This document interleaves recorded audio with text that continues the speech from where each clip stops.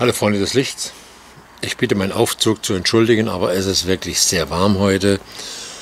Und ja, den Bienen ist es egal. Man muss es trotzdem machen. Ich will jetzt noch diese eine Königin, die da trotzdem noch rumgesprungen ist in diesem Abidea, obwohl ich zuerst keine Anzeichen gefunden habe. Die will ich jetzt mal versuchen zu finden und zu zeichnen. Muss ja sein muss ja wissen, was geht.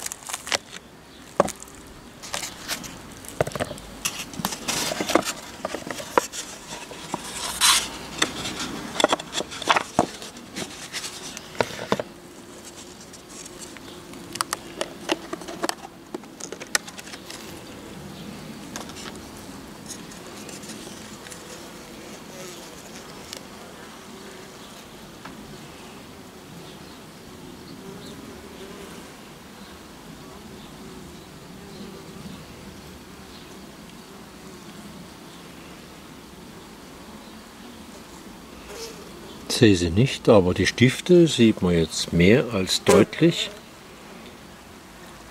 Ich hoffe, ihr seht es auch. Ich halte es einfach nur mal vor die Kamera und denke, dass ihr es sehen könnt.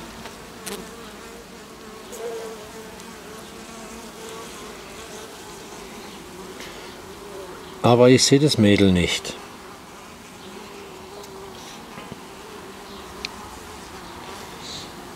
Die im Moment Hauptattraktion sehe ich nicht.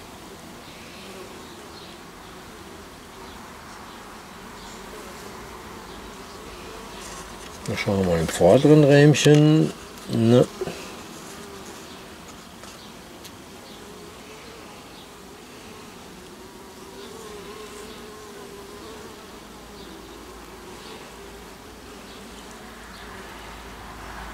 Nö. Kann sie auch erkennen.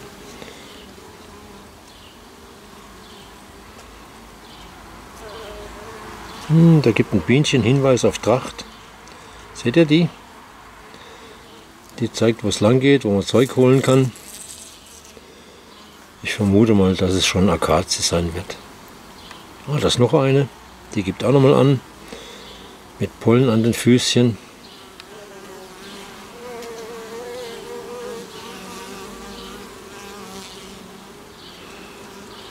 Nö, hier sehe ich sie auch nicht.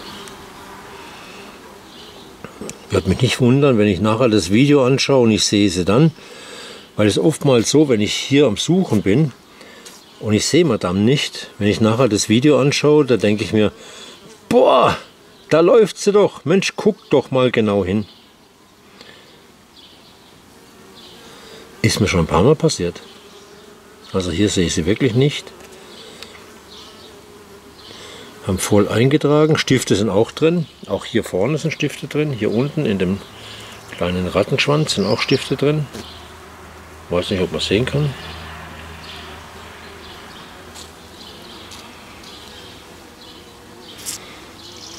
Aber La Madame zeigt sich nicht. Wir haben ein bisschen gewittrige Stimmung, aber doch sehr, sehr warm.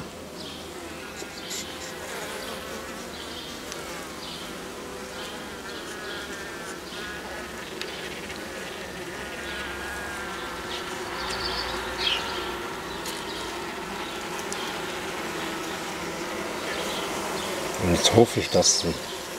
Oh, oh, oh, ich glaube, ich habe sie gesehen schon. Ja, ja, da ist sie. Da läuft sie, Madame. Und ein schönes Tier. Und ich habe sie.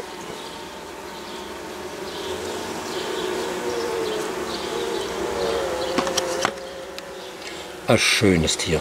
Sieht man sie?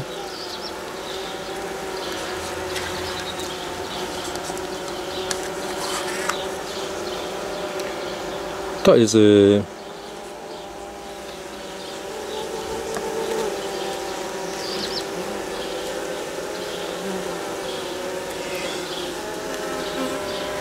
Mache ich die Damen mal wieder rein.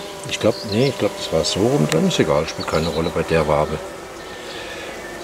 Das ist ja eh nur die typische Futterwabe.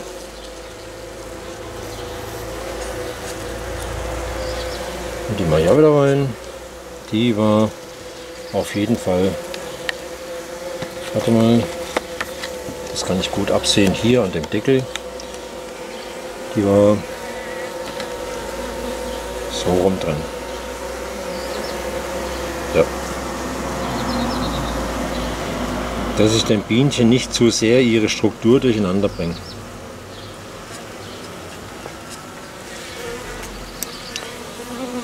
Und jetzt sind wir halt erstmal gebe ich da noch ein bisschen einen Deckel drauf, dass die ihre Ruhe bekommen. Und dann zur Madame.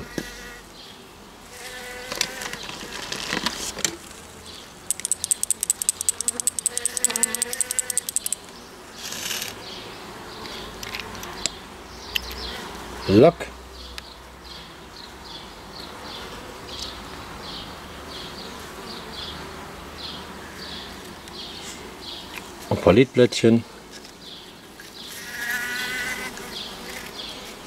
Ja, ja, keine Panik. Ein schönes Tier. So.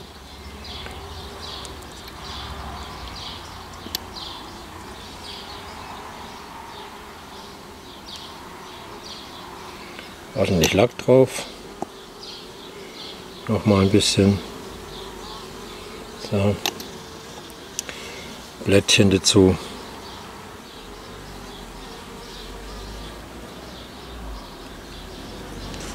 Und mal dann wieder laufen lassen. So schnell geht das. Jetzt verräume ich mal die ganzen Sachen. In der Zeit darf Madame trocknen. Und schon passt es für uns alle.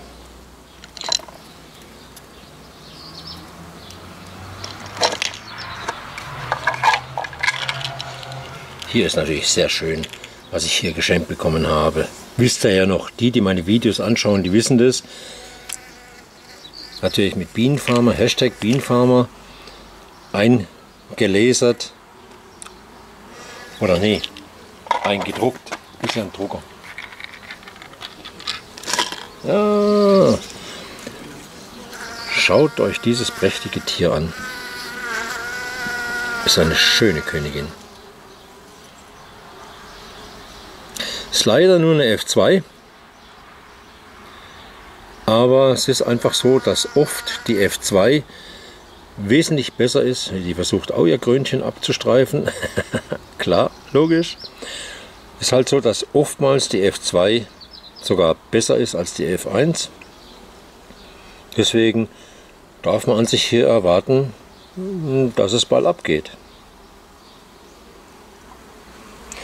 Ich denke, die hat jetzt genug Trocknungsprozess hinter sich. Ne, ich lasse die noch. Ganz kurz lasse ich sie noch stehen.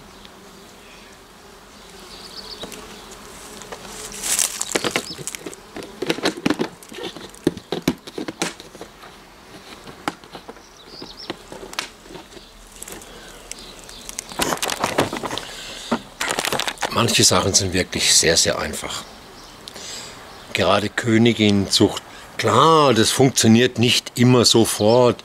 Manche Zellen, hoppala, mein Stativ hat gerade einen Ruck gemacht. Manche Zellen werden halt nicht angenommen. Mein Gott, da macht man noch mal eine Zelle rein. Manche Zellen funktionieren prima. Und da machst du auf, keine Königin da. Dann machst du halt noch mal. Also das mit der Königinzucht sehe ich überhaupt nicht als Problem. Aber wirklich gar kein Problem in der Imkerei. Wo ich ein Problem sehe, wenn ich jetzt zum Beispiel viele Königinnen produzieren würde, was wirklich, wirklich es wäre eine Kleinigkeit, wäre ganz leicht, viele Königinnen zu produzieren. Wo ich viele Königinnen zu produzieren und dann nachher nicht zu wissen, wohin ich sie geben soll oder wem ich sie geben soll, äh, ich könnte sie nur töten. Das mache ich nicht. Ich werde also immer entsprechend meiner Imkerei, meinem Umsatz, meinem Bedarf Königin ranziehen. Aber ich denke, jetzt hat sie genug getrocknet. Ich muss das Stativ irgendwie noch hinstellen im ganzen Gemüsegarten hier. Und jetzt lasse ich sie auch wieder einlaufen. Hat sie sich schon daran gewöhnt? Weiß ich gar nicht. Das Hinterteil reibt sie sich ganz kräftig. Nee, sie versucht noch hochzugreifen. ist immer das gleiche. Immer versuchen sie das Krönchen abzustreifen. Geht aber nicht. So. Jetzt lasse ich sie aber wieder in ihr Volk zurück zu ihren Peoples. Ich werde dann bald noch ein bisschen nachfüttern müssen. Die haben hier noch ein Drittel der Futterkammer. Da ist noch was drin unten. Die haben aber auch hier gut eingelagert. Aber die sollen ja einen Strom haben. Die sollen ja einen ständigen Futterstrom haben. So.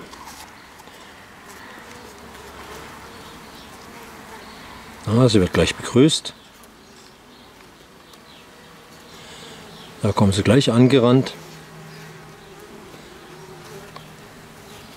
Tja, guck mal, wie sie nach ihrer Königin suchen. Und da wird gefüttert und gemacht. Ja, was jetzt? Geh mal runter.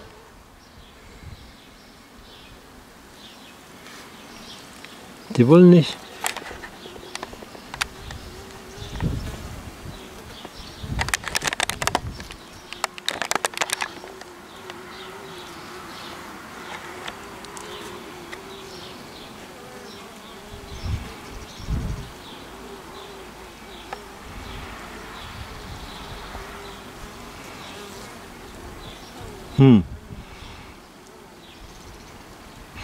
Das habe ich jetzt auch noch nicht gesehen, dass die Königin nicht automatisch runterläuft in die Beute zurück, also in das Begattungskästchen zurück oder in die Beute. Und dass die Bienen hochkommen und sie gleich umgarnen. Aber es ist auch immer wieder was anderes mit den Bienen. Immer wieder gibt es was anderes.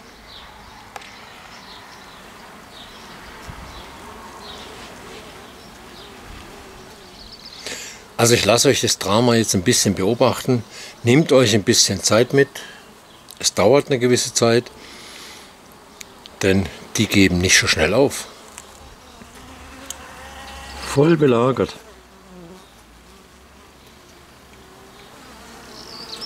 Hat jemand sowas schon mal gesehen von euch?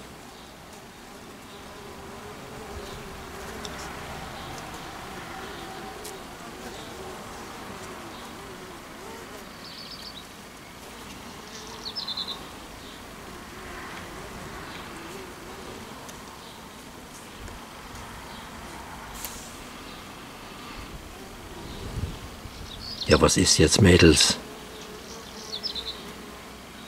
Das gibt's doch gar nicht.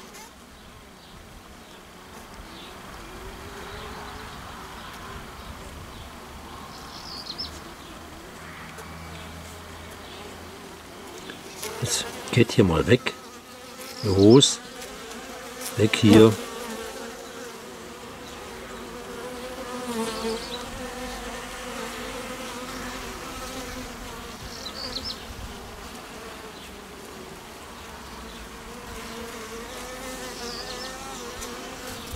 Nee, die lassen sich nicht wegscheuchen.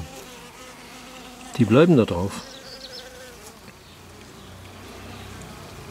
Na, ich hoffe, die Königin überlebt.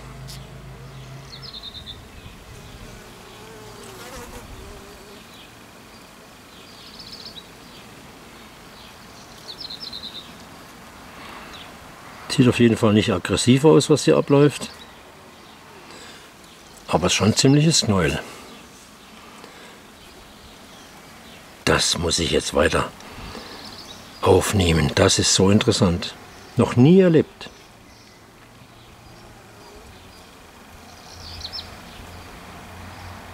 Ja, die hängen da rum und füttern die Königin.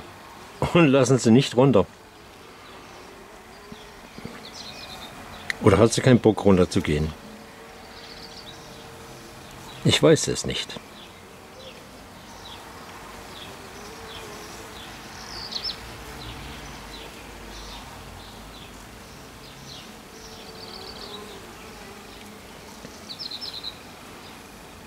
Immer wieder sehe ich ein bisschen blau durchschimmern zwischen den Bienen.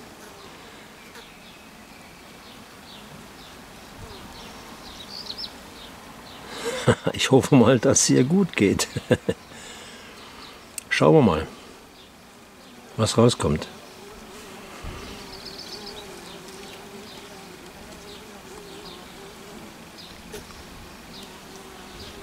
So, wird es mir langweilig, den Becher zu halten. Jetzt lege ich den einfach mal hin.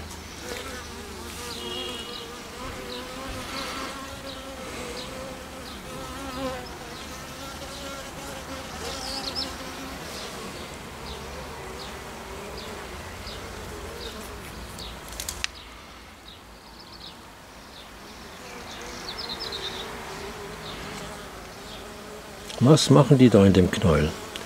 Gruppensex kann es nicht sein.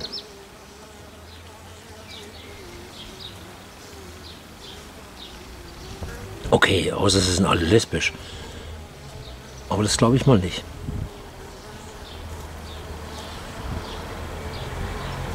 Ist mir noch nie passiert. Sonst läuft die Königin immer relativ zügig, wenn ich aufmache, relativ zügig runter in die Beute. Und jetzt kommen die Bienen hoch und wollen da nicht mehr weg.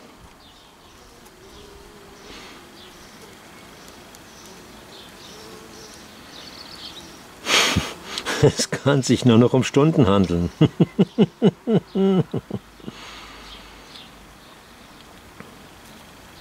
Na komm jetzt.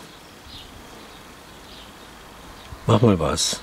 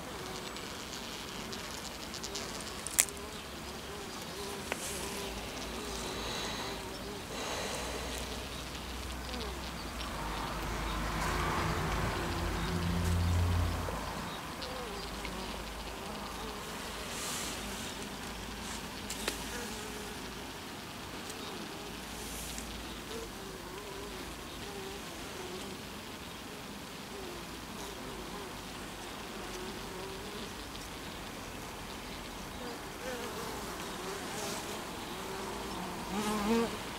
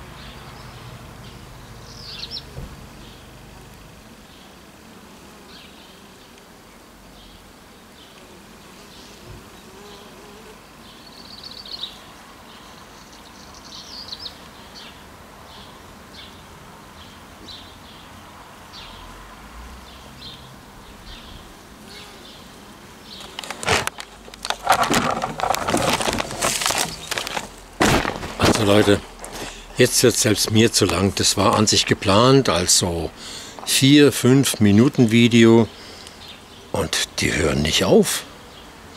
Jetzt muss ich da mal eine Maßnahme ergreifen und muss den mal sagen, halt, stelle ich das Stativ hin. So geht's glaube ich, ja. Muss dem mal sagen, fertig jetzt. Oh, die Königin ist nicht mehr da. Dann muss sie eigentlich hier im Haufen sein.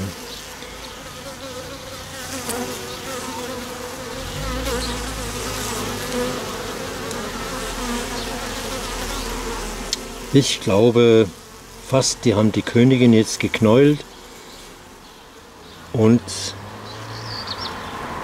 gekillt. Sieht mir fast danach aus. Da unten drin sehe ich sie. Hm. Nur warum das?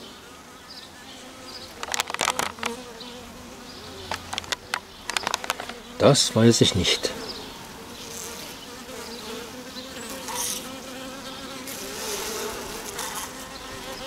Ich denke, da unten drin ist sie.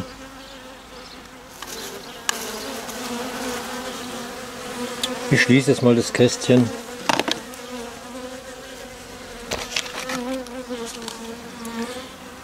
So Mädels, jetzt müsst ihr mal runtergehen.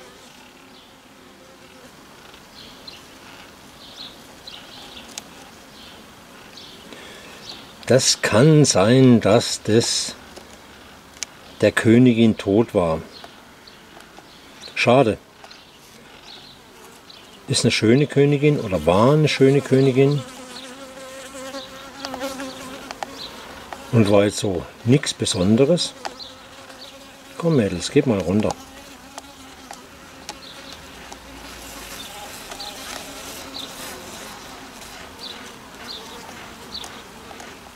Ich werde also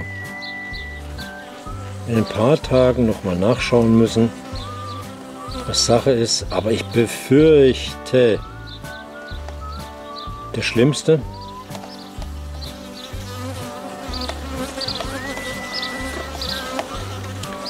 Für mich sieht es nicht sehr gut aus.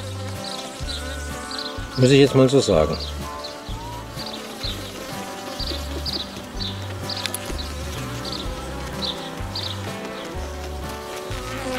Hm, so kann es halt gehen.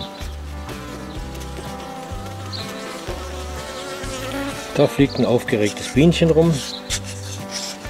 Die sucht den Angreifer, den sie abwehren kann. Ob die Königin jetzt wirklich geknäult und getötet ist, konnte ich so nicht sehen. Ich habe gemeint, ich hätte den Unterleib von ihr gesehen in dem ganzen Gewusel. Vielleicht liegt sie auch nur da und sagt, da macht mit mir, was ihr wollt. auch möglich. Äh, aber selbst wenn sie die, die Königin jetzt geknäult und getötet haben sollten, aus welchem Grund auch immer, sie hat Eier gelegt, sie hat junge Brut, also junge Larven, Rundmaden, das ganze Zeug. Das Volk kann sich wenn sie die Königin gekillt haben, kann sich jetzt eine neue Königin draus ziehen. Das ist allerdings dann eine F3, das heißt also für mich Maximalgrenze. Mehr als F3 mache ich nicht. Mal schauen. Wenn euch das Video gefallen hat, wird es mir natürlich auch Freude bereiten, ganz klar. Vielleicht sehen wir uns dann auch wieder im nächsten Bienenvideo.